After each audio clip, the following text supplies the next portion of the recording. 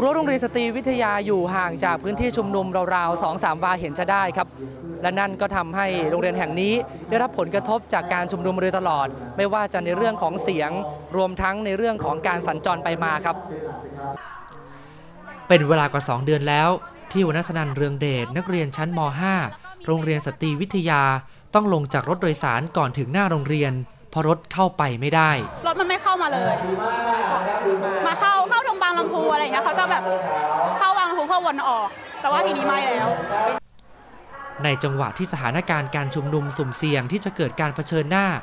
หรือมีการปิดเส้นทางในหลายจุด โรงเรียนจะประกาศหยุดเรียนทันที โดยประกาศให้ทราบผ่านทางเว็บไซต์ และเพื่อนๆช่วยกันบอกกล่าว ผ่าน social network นี่เป็นปฏิทินการบ้านที่เธอใช้บันทึกว่า งานที่อาจารย์สั่งต้องส่งเมื่อไหร่ และวันไหนมีสอบ เพื่อใช้ในการวางแผน และทำงานให้เสร็จตามเวลา การวางแผนและการอ่านหนังสือล่วงหน้า เป็นสิ่งที่วรรณสนันสามารถทำได้ทำกลางสถานการณ์ที่ไม่แน่นอนอย่างนี้ พอทางด้านโรงเรียนมันก็มีผลกระทบก็จริงแต่ว่าหนูทนได้นะ เพราะว่าก็ก็เขาเรียกร้องของเขาอะเขาไม่ได้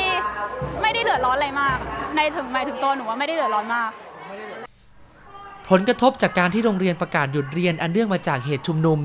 ย่อมทำให้แผนการเรียนการสอนที่คุณครูวางไว้ก่อนหน้านี้ ไม่เป็นไปตามแผน เพราะเวลาเรียนเหลือน้อยลง ผู้อำนวยการโรงเรียนสตรีวิทยาบอกว่า วิธีการแก้ไขปัญหาของโรงเรียนนี้ก็คือ ร่นคาบเรียนให้เหลือคาบเรียนละ 40 นาที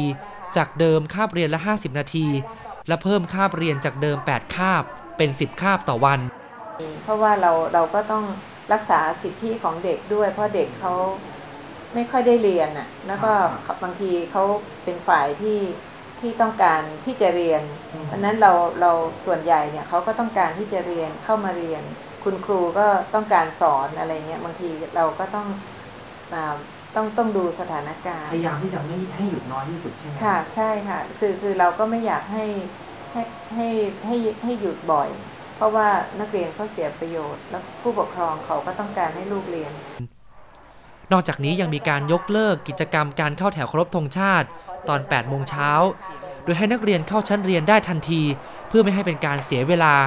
ทั้งนี้จะทำการเรียนการสอนไปจนถึงบ่าย2โมงครึ่ง และจากนั้นทางโรงเรียนจะขอความร่วมมือจากนักเรียน ให้ออกจากโรงเรียนให้หมดก่อนเวลา4โมงครึ่ง เมื่อพิจารณาจากจุดที่มีการชุมนุม มีสถานศึกษาในสังกัดกระทรวงศึกษาธิการในกรุงเทพมหานคร ได้รับผลกระทบ 208 แห่ง มีครูและนักเรียนได้รับผลกระทบรวมกันประมาณ 2 0 0แสนกว่าคน ซึ่งผลกระทบที่ได้รับจะเป็นเรื่องของความไม่สะดวกในการเดินทาง และเรื่องของความปลอดภัยทันพิสิทธิ์และบำรุงชัย เนชั่นทีวี รายงาน